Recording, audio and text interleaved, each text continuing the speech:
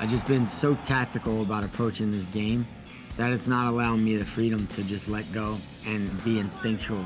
And I'm an instinctual fighter. I fight very well. I have very good fight instincts, and I haven't been using them.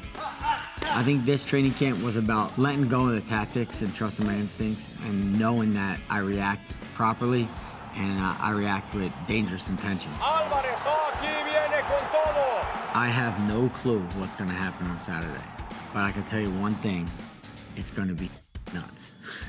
Le está metiendo todo el castigo y Herman dice que se acabó.